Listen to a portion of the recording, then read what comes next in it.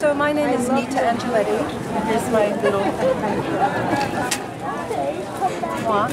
Yeah. And um, I'm at the Green Flea. And actually, what I do mostly are one-of-a-kind doll sculptures. This is a mermaid I just finished. Um, so I'm doing that for like 25 years, mm-hmm. sculptures in, in the doll world. And uh, but people started to ask me if I could if I could make headpieces like the dolls wore, our neck pieces. So that's why I started doing the um, the wearable. We have Wonder Woman, not the original. But, uh, and then I have a lot of vintage pieces, uh, or there's Venetian glass, Czech glass, uh, collage, and there's feathers. And then um, this piece is beautiful. It's, it has a, a Japanese vintage doll and a lot of embroidery. Um, and they're little pieces of wearable art, little daffodils or whatever. And, and these are little smaller ones. I forgot to say. A lot of times the smaller dolls. This is a cute little rabbit person. Um, before the dolls are large, I do small little maquettes. And um, then the headpieces also. This is a big one. Yes, it does take a lot of time. And uh, one of a kind piece also. Oh, they are one of a kind, yes.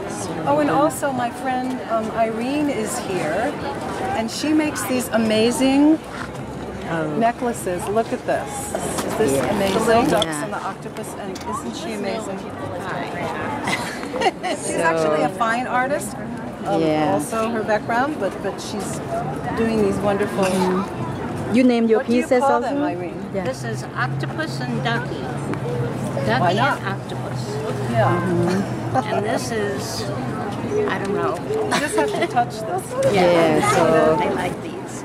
you ha- where you uh, collect your materials Toy from? May I ask? Uh, pet shops, uh, thrift shops, Flea markets. flea markets, Yeah. friends, neighbors.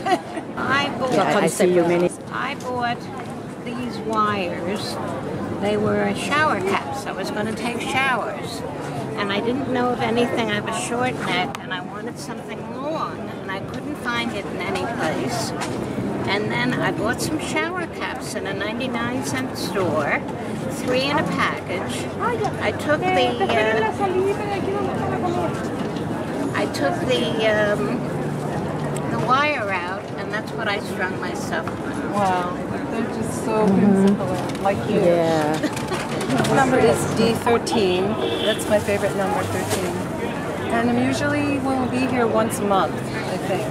And uh, I have an Etsy shop. Uh, it's under Boudoir Violette, and that's where you can.